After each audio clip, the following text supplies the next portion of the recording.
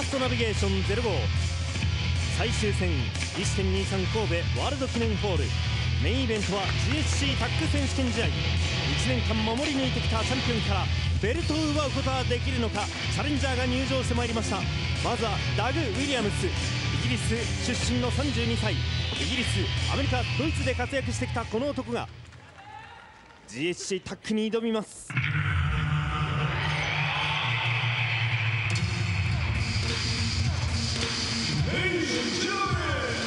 今再びその感触を味わうためにベルトをその腰に巻くために初代王者が第9代王者になるために王座奪還へ3度目の挑戦。チャレンジャースコーピオが登場してまいりました。今日第1試合前に行われた JC タッグの公開調印式。調印書にサインした直後スコーピオはチャンピオンに突っかかっていきました。抑えることのできない気持ちをぶつけました。いよいよ GSC タッグ選手権試合。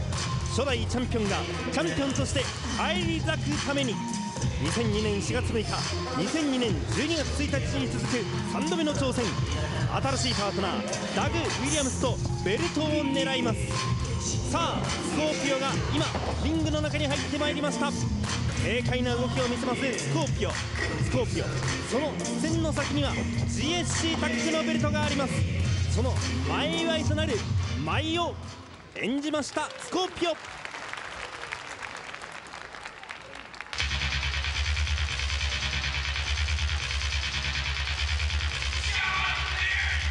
2004年1月10日ノアの手法を新日本プロレスから取り戻しました。あれから1年を過ぎて未だそのベルトを守り続けている第8代チャンピオン三沢小川組。98年9月11日日本武道館。あれから6年4ヶ月三沢の隣にはこの男がいます。小川義成。去年1月10日からチャンピオンになって1年。これまで7度の防衛を果たしてきました。アメリカにも行きました。東京ドームで武藤太陽ケアとも戦いました。あらゆる舞台で自らが培ってきた自らのプロレスでベルトを守り続けてきました。2005年今年もベルトを守り抜くことができるか。今 GSC テックのベルトを外しました。さあまだ小川義成はリングに上がりません。今ようやくエプロンサイドに手をかけました。しかしまだ距離を取ります。その GSC タックのベルトは赤コーナーの下に置いてあります。まだ小川はリングに上がりません。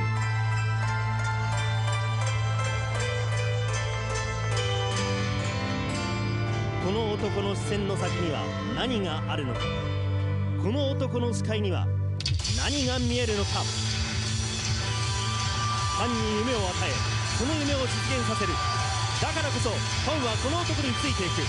だからこそファンはこの男の名を叫ぶ。その男の名は第8代 GSC タッグチャンピオン三沢光晴です。今その姿を現しました。去年武藤との対峙そして武藤とのタッグ。今年1.8武道館天竜との激突。夢はただ見るためにあるのではなく実現させるためにある。今にわかに騒がしくなってきた GHC タッグ戦線。果たしてその先に何があるのか。その戦線の中心にいるためには絶対に負けることが許されないタイトルマッチ。今2005年 GSC タッグ戦線が始まる。あータスコーピアがいきなり突っかかっていった。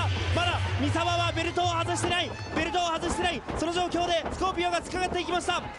荒れた展開になりました。さあまだゴングは打ち鳴らされていません。三沢はそのベルトを腰に巻いています。しかしそこにスコーピオが突っかかっていきました。ダグ・ウィリアムウィリアムもそのスコーピオの動きについていきました。今ようやくガウンを抜きました。タイトル管理委員長上福中選手権試合宣言でございます。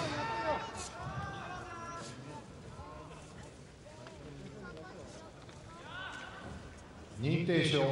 この試合は GHC タイトル管理委員会が認定する GHC タッグ選手権試合であることを宣言する。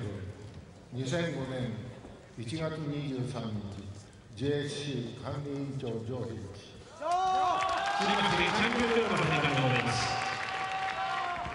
ベルトがいこのタイトル管理委員長のジョー・ヒミスさんに渡されます。さあそのベルトをチャレンジャーのスコーピオダグ・ウィリアムスはどう見たか？本日のメインイベント GC タッグ選手権試合60分一本勝負を行いますなおコーナー挑戦者チーム235ポンドダグ・ウィリアムス初の GFC 体感化ダグ・ウィリアムス初スコーピオ代王者が返り咲くかスコーピオ裏側コーナー GC タッグチャンピオンチーム220ポンド小川義成テクニックにはテクニックで対抗する小川義成250ポンド三沢光晴に何を見るか三沢光晴。あーだ突っかかっていた。チャンピオンサイドが突っかかっていきました。先ほどのお返しとばかりに突っかかっていったのはチャンピオンサイド。さあリング上にはこの三沢小川2人が立っているという状況になりました。まだゴングは打ち鳴らされていません。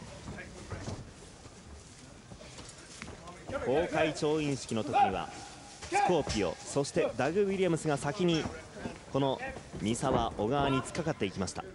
そしてこの試合の前にも入場してきた三沢に突っかかっていきました。そして3度目は三沢小川が今度は先に突っかかっていきました。今ゴングが打ち鳴らされました。GHC タッグ選手権試合60分の一本勝負。さあ赤コーナー先発は小川義成。そして青コーナーダグ・ウィリアムスです。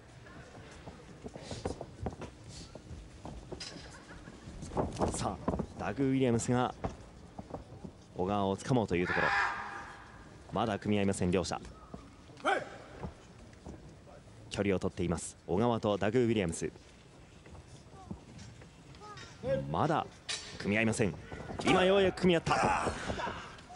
腕を掴んでいったのはダグ・ウィリアムスです。スマックにキック。腕を掴み取りました。小川義成さあ1回転。そして足をかけます。しかしまだその腕をほどきません小川。動きを制しています。強引に小川を倒していきましたダグ・ウィリアムス。そして腕を取り返します。ぐーっと腕を絞っていく。そして首投げに行くのか。いや首を押さえているところ。それを切りました。もう一度左腕を掴み取りました小川。そして足をかけるか。いや先ほど小川が受けた攻撃と同じような形を取りました。そしてダグ・ウィリアムスもダグ・ウィリアムスも腕を切っています。強引に投げ飛ばしていきます。再び距離ができました。解説はノアトレーナーの浅子悟さんです。いやこのはい。スコーピオダグ・ウィリアムス組が先に突っかかっていったえわけなんですが、まあ、チャンピオンサイドもそれに応じましたね。え、そうですね。やはりね外国人チームというのはね、はい。存在感がここ最近薄いというかやはりいろんな選手がノーヤマットの流れになってから、はい。自分たちの存在をやっぱりどうしても認めさせたいとえいうことでやっぱり必死なんだと思いますよ。えはい。やっぱそれにはねベルトを取るのが一番ですからね。なるほど。でこのゴングが打ち鳴らされてからはこの小川とダグ・ウィリアムスの先発になったわけなんですが、ここはテクニックとテクニックの応酬になりましたね。そうですね浅子さんはこのダグ・ウィリアムスをどのように評してますか？そうですね。やはりね腕を取ったりい。首を取ったり、腕の取り方一つにしてもいろんな取り方を持ってるんですよ、はい。抜け方にしても、はい。やはりや対サイドとして怖い相手ですよね。なるほど。で一つ一つ急所を決めてきますからね、ええ。ポイントを確実に占めていると。占めてますね。はい。1972年生まれの32歳イギリス出身ですさあ切り抜けました。ぐーっと足で頭を挟みましてそして動きを止めています小川です。あのーこのダグ・ウィリアムスはい。イギリス出身ということもありましてこういったあのグラウンドの攻防、そういったところには定評がありますよね、やはり得意ですよね、ええ。ヨーロッパスタイルといいますか、はい。まあ、それにうまく小川義成も合わせているという状況です。さあそのダグ・ウィリアムスからスコーピオ小川から三沢にタッチが交わされていました。このスコーピオは本当に三沢小川組には突っかかっていきましたね。そうですね。やはりね抜け方もね、はい。組んでる時にやっぱ裏切るような形で出てきましたからね、はやはり三沢選手と小川選手にしても許せないっていう部分があると思いますよ。なるほど、ええ。あのー去年の11月21日の仙台大会でしたよね、はい。シックスメンタックマッチで三沢、小川、スコーピオが組んでいたんですが、はい。このスコーピオは裏切りました。でその後12月4日の横浜文化体育館の戦いでも、このスコーピオが三沢小川組が7度目の防衛を果たした後花道に現れまして、そして GHC タッグのベルトを強奪するという場面もありました。やはりねああいうセオリーを無視したやり方っていうのはね、やはり三沢選手も小川選手もね、はい。相当頭にきてると思いますよ。なるほどね、えそしてあの今ツアーで前哨戦で2回このスコーピオと三沢は戦っているわけなんですが、えはい開幕戦となりました熊谷では三沢川端組対スコーピオダグ・ウィリアムス組でスコーピオは社長と叫びながら川端にエメラルドフロージョンをかけましたよね。ええやはりタイトルマッチに向けてのデモンストレーションと見ていいと思いますよ。はいえだから本番でもそれが出出るのか、はいそういう怖さもありますえよね。そうですよね。三沢選手とすれば。ええさあエルボー。三沢のエルボー連発です。そのエルボーにちょっと腰を落としました。スコーピオですが体をすぐさま入れ替えて今度はダウンキック。やはりねスコーピオ選手、はい。どちらかというと派手にねトンネル跳ねたりが得意というイメージなんですけど、はいえ。細かいテクニックもやっぱうまいですからね。なるほど。え5 minutes の5 minutes のそしてこの筋肉ですよね、はい。クランチャーを仕掛けましたスコーピオです。でうまい具合にねやはり、はいウィリアム選手がねちっこいグラウンドレスリングで打っておいて、はい。で最終的にスコーピオ選手が飛んでくるっていうパターンでね、やっぱりうまいようにバランスが取れてますよね。なるほどね、はい、一見バラバラのようなチームに見えるんですが、はい。やっぱり、ね、その辺は外国チーム頭を使ってますよね。なるほど。はい。この GSC タッグのベルトは2001年に創設されたわけなんですが、はい。10月19日横浜。初代王者に輝いたのは秋山斉藤組を下したレイダースコーピオ組でした、はい。やはりねスコーピオ選手としてもね、はい。あのもう一度という思いは常に持ってると思いますからね。ええ。あのー初防衛戦で11月30日札幌でこの三沢小川組と戦いましてその時にそのスコーピオが敗れてしまいまして王座を明け渡したという経緯があります。まあその時のお返しは確実にしたいでしょうね。したいだろうし、やはりね、はい。スコーピオ選手、外国人、このええ外国人勢のね、ボスとして、やはり存在感を見せつけたいっていうそうですよね。今ケイオスを率いますのはこのスコーピオです。でこの GSC タックのベルトを渡してから2002年の4月6日に名古屋で森島力王に挑戦して失敗、はい。12月1日に秋山斉藤あーっと三沢が行きました三沢が果敢に挑んでいきました。12月1日に札幌で秋山斉藤に挑んでその時も失敗、はい。今回がスコーピオは3度目の挑戦ということになります。ただこのスコーピオに対する三沢はどうですか？そうですね、うん、須選手、どちらかまだ冷静かなって感じしますけどね、そうですか、はい、見てる限りでは、まだ冷静ですか？まだ冷静な感じには見えるんですけど、ええあまり普段ああいった攻撃を仕掛けないように感じていたんですがえまだ冷静に。えまあ、試合をよく見てるっていう感じで。なるほど、ええそしてスコーピオをリングに戻して三沢から小川です。僕はどちらかというとやっぱスコーピオ選手の怖いですね、彼はどちらかというと明るいイメージがあるんですけど、はい。このタイトルマッチが決まってからというもの、えもう本当にメットで割らなくなりましたよね、はいはいはい、はい、やはりその辺に怖さを感じるんですよね。そうですか。はい、さあ東京軍スピンキックかわしている。さあ小川が捉えている。あしかしスコーピオも倒れません。ああ激しい打ち合いになっていますさあスコーピオ倒れません。挑発したスコーピオこれでも倒れません。目印。ああとようやくスコーピオが倒れました。いやー時間かかりましたね小川にとっては。そうですね。さあそしてこのスコーピオからダグ・ウィリアムスにタッチが交わされています。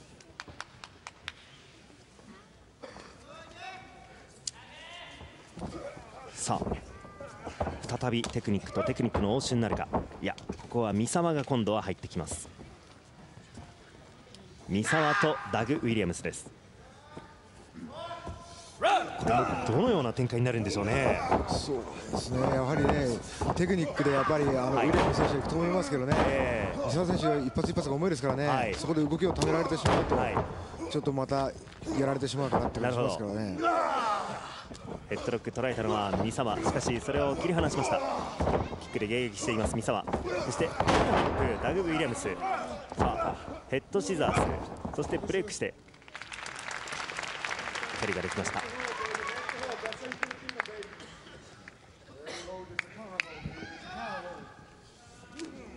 このスコーピオダグ・ウィリアムス。今ツアーは1月11日熊谷で三沢川端と対しまして勝利を収めそして1月13日岐阜では小橋菊池組と対して勝利を収め。そして1月21日岡山では米曽太郎組と対しまして勝利を収めています。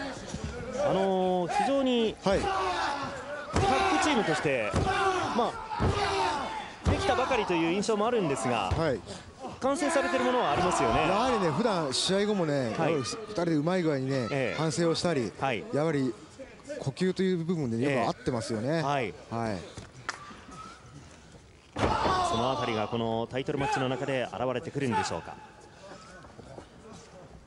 さあダグ・ウィリアムスがアンブリーカーそしてホイップしてあーっとこうやって自ら回転して左上でへのダメージを与えていく。ああいうことをやられて、あ対戦相手っていうのは、やはりはい。何をやられるか分からないと一番怖いですからね。ええ。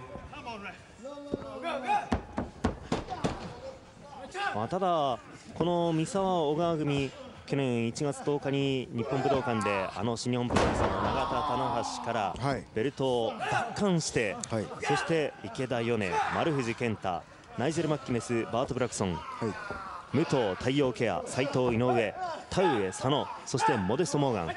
去年1年間7回の防衛を果たしてきましたまあもうこのタッグチームは盤石のタッグチームですよね。そうですね、やはりね、信頼関係という部分です素晴らしいものもあるし、ええ。タッグチームもとしてやっぱり完成されつつある、ええ。本当完成してると言ってもいいんじゃないですかね。そうですね、98年9月11日日本武道館で小川を指名して三沢のタッグパートナーになりました。アンタッチャブルが結成されてそしてその後ウェーブに変更されて以来6年4ヶ月盤石のタッグチーム第8代の GHC タッグチャンピオンチームがこの三沢小川組です。あれでね、肘が伸びきってしまうと完全に腕が決決まってしまいますね。今危ないと思ってやはり水選手すぐカええットに入りましたけどね、はい、この辺りの息の合い方というのがこのチームの強さです。はい、やはりどこで入ったらいいかっていうのは常に分かってますからね、はい、うん、これもちょっと危ない体勢ではありますよね。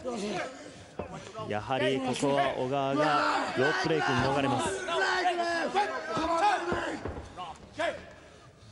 いやー左腕を思わず抑えます小川ですあタッチを求めに行こうというところですがスコーピオに捕まりましたそしてスコーピオからダグ・ウィリアムスへ速いタッチワークいいタッチワークを見せますこのチャレンジャーサイドさあこのダグ・ウィリアムスも今痛めつけた左腕そこに照準を絞りました。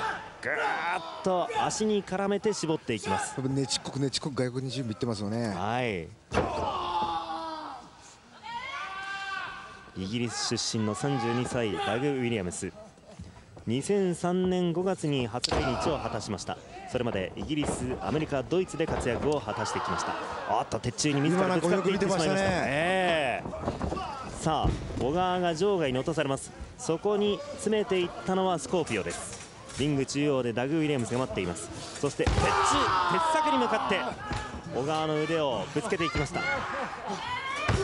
ああとこれも厳しいですね。厳しいですよね、ええ。一発一発が、はい。そして今度は鉄柵に腕を絡めますそして体重を乗せていきます。ガーッと絞っていく。さあ試合の権利を持っているダグ・ウィリアムスはリングで待っています。存分に場外でこの小川の左腕への攻撃を仕掛けていきますスコーピオ。まだスコーピオは攻撃を仕掛けようというのか。全身汗びっしょりかいているスコーピオ。そのスコーピオが小川を捉えてあーと今度は鉄柱です。これだけね、はい。やっぱ腕を攻められますと、え後半どのぐらい体力が残ってるかっていうのもやっぱりああなるほど。非常に厳しいものがありますよね、えーやはり何をするにもやっぱり腕が使えなくて攻撃ができませんからね、えー力も入んないでしょうし、はい、小川の18番と言いますとバックドロップホールドはい。なんですが、やはりその時やっぱクラッチにする時に力が入らないと、そうでしょうね。威力も半減してしまいますからね、うん。そうするとバックドロップの体勢に入っても崩れてしまうという危険性があるわけですね。はい担ぎ上げてから垂直に落とします。そしてこれも左腕です。あーとここは三沢がカットに入ってきます。いやーもうあらゆる形でこの腕攻撃を仕掛けていきますね。そうですよね、えしかもそれもね、はい。同じような攻撃じゃないんですよね、ええ。すべて違うような攻撃ですからね、すべて違う角度で入ってくるわけえですよ、はい。えやはりするダメージも全部違う伝わり方になりますからね。えその腕のひねられ方というのがいろいろ変わってくるわけですね、はい。さあその左腕を持ってあーっとアームホイップ。さあ今度は左腕をぐーっと引っ張っていきます。いやもう本当にひねられたり伸ばされたりはいもう小川の左腕これもう悲鳴を上げてもおかしくないこ状れ以上これ以況ですよね上捕まるとやっぱり伊沢選手もね、ええ出てくるでしょうね。はい、そして今度は腕ひしぎ逆十字に入りました。ガーッと絞っていきます。この入り具合はどうでしょう？まだねグ中央肘が完全に伸びきってませんからね、はいあれ伸びきってしまうとはい決まってしまいますけど、まだ大丈夫ですね。まだ大丈夫ですか？はい三沢はこの表情です。眉間にシワを寄せています。ただ三沢が今三角締めにちょっと変わってますからねそうです。ね。変形の三角締めのような形になりました。グラウンドでの攻防になっています。まだ三沢がカットに入らないということは。まだ大丈夫かなというふうに見てるんでしょうか。入らないそれとも入らないのかもしれないですよね。もしかしたら逆にね今はポジション的にはちょっとカットに入れそうですけど、はいはいはい先ほどまでずっと青コーナーサイドで試合が進んでましたからね。ええええさあようやく三沢が入ってきましたそして踏みつけでもね、スコーピオ選手はああやってええ腕を離さないでしょ。そうですね、え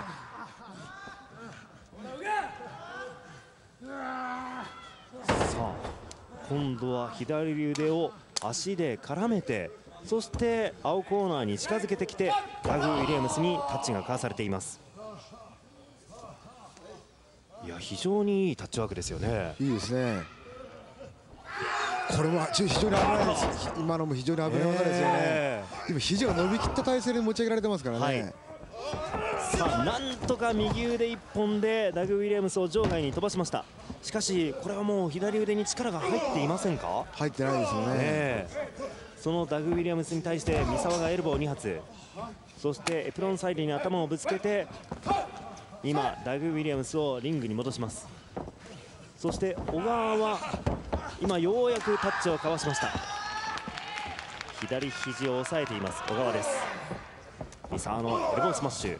ダグ・ウィリアムスもそれに応戦します。エルボースマッシュの応酬になりました。エルボーで流れ変えたいですよね。ああなるほど。えさあダグ・ウィリアムスからスコーピオへ。さあ今度は連発のエルボー。ああスコーピオが大の字になって倒れます。やはり窮地を救うのはこの三沢のエルボー。そして顔面を踏みつけますそしてスコーピオの頭を捉えて鼻の頭のところにエルボーを落としました。顔面を思わず抑えますスコーピオ。そして今度はハンマー。さあエルボーを一発入れていきます。スコーピオの動きが止まりました。流れをつかみ始めるか赤コーナー。第8代の GSC タッグチャンピオンスコーピオの頭を捉えてがっちりと固めますまああのこうして時間をかけて三沢は攻めることによって、まあ、少しでも小川のその左腕のダメージを減らしておきたいそうですねということなんでしょうか。やはりね、三沢選手が前面に出ることによって、その間、小川選手が回復する時間がありますからね。はい散々小川の左腕痛めつけられましたからね。さあ三沢がここは時間をかけてゆっくりと攻めます。スコーピオの頭を捉えます。そして今度は首筋へエルボーを落とします。呼んでますよね、スコーピオン選手おおは。なるほど、えそしてダグ・ウィリアムスがそれに応えるようにのの見えないえー、そうですね、あ流れをこのチャンピオンサイドが掴みかけるかと思われたんですが強引に引き戻しましたジャンピングに。そしてスコーピオが今度はラリアット。そしてダブルの攻撃を仕掛けていきます。ダブルのおっとニュートラルコーナートップに三沢を据え付けました。そしてそこを追っていくのはダグ・ウィリアムスです。ダグ・ウィリアムスがなだれ式にブレンバスターを打とうというところ。しかしエルボーで切り抜けました。今度はスコーピオ。スコーピオが入ってきて左足を捉えて今度は右足も前に持ってきました。そしてスコーピオはなだれ式に何を持ってくるか。フランケンシュタインあーっと失敗です。ここは崩れませんでした。そして三沢はまずはダグ・ウィリアムスにエルボー。そしてスコーピオに対してもエルボー。今度はセントーン。体重を預けていきます。三沢今度はスコーピオにもセントーン。110キロの体重を落としていきました。そして三沢から小川にタッチが交わされています。小川がどこまで戻っているかですよね。そうですね。どこまで左が回復してるかですよね。ええシンクラッシャー。そして今度はエンジンあーっとスコーピオの顔面を捉えた。ダグ・ウィリアムスの腕を捉えて DDT 今ね、ウィリアム選手、かわしたに見えたんですけどね。はい、ねえスコーピオが近づいていました。そこをもう小川は見えていたということなんですか？見えてたんでしょうね。この辺りが小川の試合運びのうまさはい。ですよね。さあや今度はりね、そういうね、え冷静に見てる目があるからね、今までこう長い間防衛できたというのもあると思いますよ。ええ。さあそのスコーピオが場外に落とされてまずは鉄先にホイップされて三沢のエルボーを場外で受けました先ほど外国人チームがね、2人出てね、流れが変わるかなと思ったんですよ、また。はいえやはり三沢選手、うまい具合に引き戻しましたね。なるほど、はい。さあそして小川も追っていきますあのー、今ツアーでは1.15博多のことでした、あのー試合後に本部席にありました GSC タッグのベルトをこの外国人チームが強奪しまして、い。それに起こった小川が珍しく、あのー場外フェンスを持ち出して挑戦者チームに襲いかかるということもありましたよね。ありましたね。ええ。まあ、こういったタイトルマッチで本番来るまでにね、はい。いろんなことがありましたからね。ええ。そして三沢小川の連携です、まあ、小川がここまで起こるというのも非常に珍しいですよね。そうですよね。あまり見たことはないですね。ええ。まあ、それだけにこの試合にかける気持ちというのは今まで以上と言っても過言ではありません、そして2005年始まってからちょっとこの GSC タッグ戦線がにわかに騒がしくなってきましたよね。そうですよね。ええまあその戦線のタイトル戦線の中心にいるためには今日のこの試合絶対にこの三沢小川組負けるわけにはいきません。さあスコーピオが捕まりました。動きが止まりました。胸元へのエルボー。そして今度は小川が入ってきます。おーっと強烈鋭角な角度でエルボーを打ち込んでいきまししたかもコーナーに詰められてるから、はい。相手は逃げられませんからね。はい。そしてスコーピオ倒れているスコーピオを小川が強引に起こしていこうというところですが起きないスコーピオを見てカバーに行きました。なんとか右肩を上げましたスコーピオです。ちょっとこの目もちょっとうつですね。ええ目を見ると相当にその攻撃が効いてるような感じですよね、足をバタつかせます。足をバタつかせてなんとか攻撃をしのごうというスコーピオ。さあしかしその腕が巻きついています。さあバックを取ってバックドロップの体勢。強引に持っていったバックドロップさあこれは今小川には相当なダメージがあったんじゃないですか？そうですね。でもやはり離してませんからね。さあ今度はスコーピオがカバーされていますまた呼んでますね。はいあなるほどダグ・ウィリアムスを呼んでいますそしてダグ・ウィリアムスがカットに入ってきました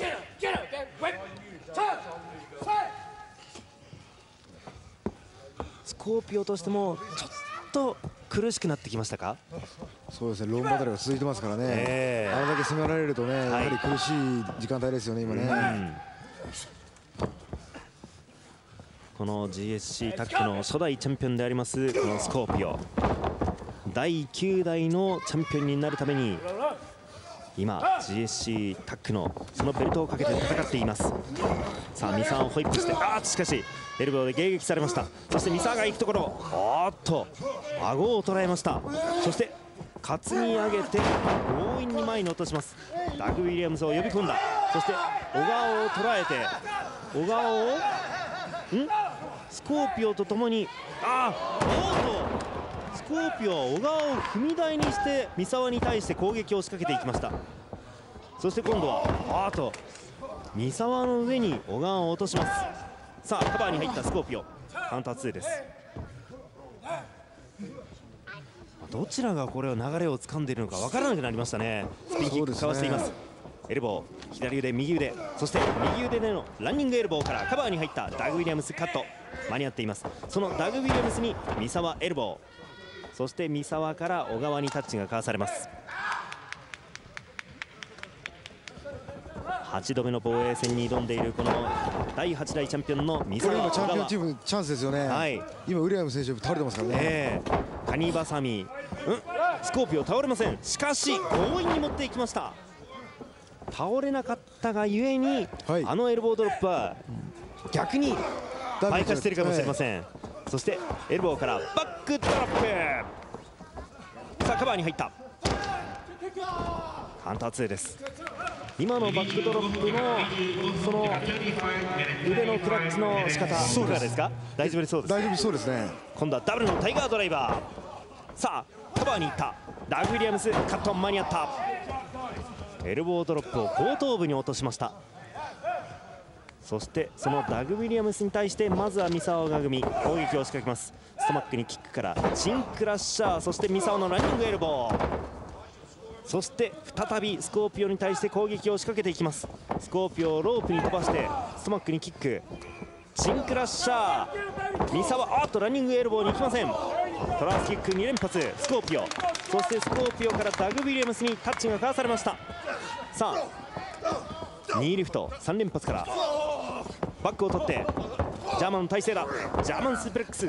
そしてもう一度。うんこれはエルボーでかわされています。あ今度はフロントノーザンライトのような形になりました。そして嬉しい腕腕にきましたね。再三再四試合序盤に攻め続けていた左腕。その左腕を腕式逆十字捉えています。スコーピオは三沢に突っかかっていきました。さあリング中央で小川の動きが止まるか。じりっじりっとサードロープを求めに足が近づいていきます。サードロープに足がかかりました。ロープブレイク。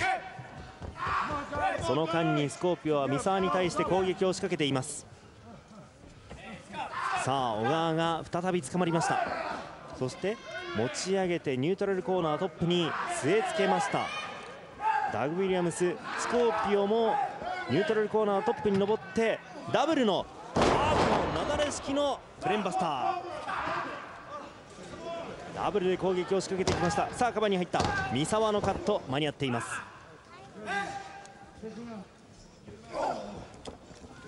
さあスコーピオが今度は小川に対して攻撃を仕掛けようというところ。場外ではダグ・ウィリアムスバックドロップ。三沢に対してバックドロップを仕掛けました。先ほどスコーピオは場外で三沢に対してタイガードライバーを仕掛けました。今度はバックドロップを受けています。そして今度はニードロップ。ダグ・ウィリアムス小川に対してニードロップ。さあカバーに入った。カウンター2やはり外国人としてはね、はい。このまま一気に攻めたいところですよね、ええもうなりふり構わずもう勝利だけを求めればいいわけですよね、はいさあん？ダブルのブレンバスター垂直落下！垂直落下！あまりにも危ない！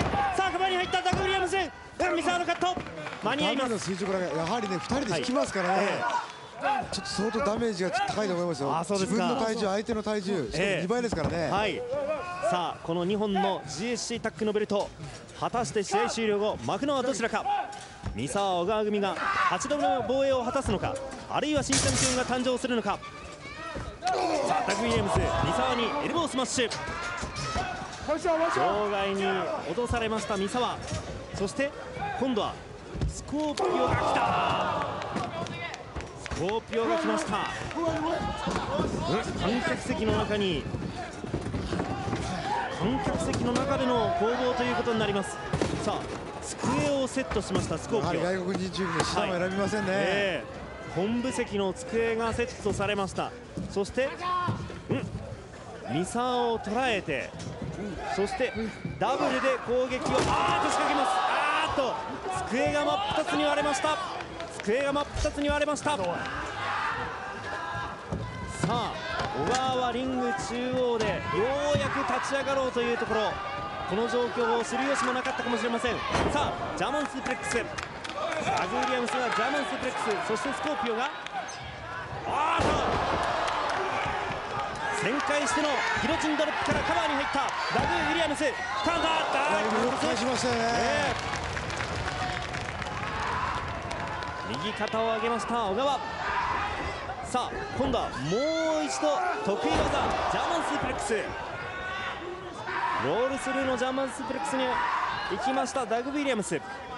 さあ今度はスコーピオにタッチをかわしてスコーピオはもう450スプラッシュの予告をしています。さあ満を持して450スプラッシュ。完璧に投げましたね、はい、さあカバーに入った。小川はだ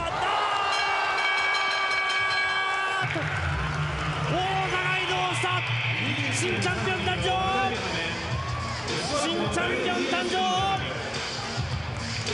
川は返すことができなかった第9代 GAC タッグチャンピオンはスコーピオダグ・ウィリアムス組まさしくビッグサプライズですよ、えまさかね今日あぶれるようなことがあると思いませんはいでしたね、第8代の GSC タッグチャンピオン三沢小川組1年間7度の防衛を果たしてきましたが2005年最初の試合でそのベルトを落としました。王座が移動しました。新チャンピオンはスコーピオダグ・ウィリアムス組です。長期にわたってね、防衛記録を伸ばしてきた、三沢選手、小川選手がまさかこんな形で敗れると思いませんでしたね。ええまさかまさか三沢小川組王座陥落